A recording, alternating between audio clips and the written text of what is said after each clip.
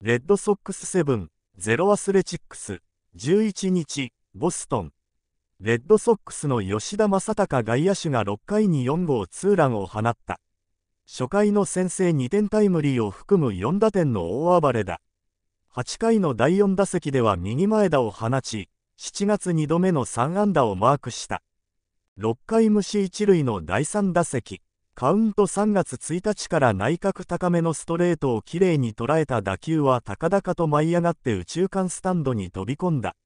本拠地は大歓声に包まれ、5日、ヤンキース戦で9回西から劇的な同点アーチを放って以来、6試合ぶりの一発。マルチ安打を記録し、好調を維持している。初回西満塁で迎えた第1打席ではメディナの内角球をしっかりと振り抜くと、打球は1、2塁間を破った。一気に煮物が生還。やや詰まらされたような形になったが、フルスイングしたことで打球は内野の間を抜けた。吉田にとっては2試合ぶりのヒット。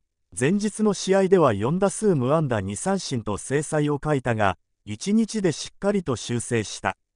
打点も2試合ぶりとなった。8回の第4打席では詰まりながらもしぶとく右前に落とし、今季3度目の猛打賞。7月に入って2度目の3安打となり、2発11打点と打撃の状態は確実に上がってきている。チームは再び貯金10に戻し、ア・リーグ東地区で2強のオリオールズ、ヤンキースを追走できるか。吉田のバットが鍵を握りそうだ。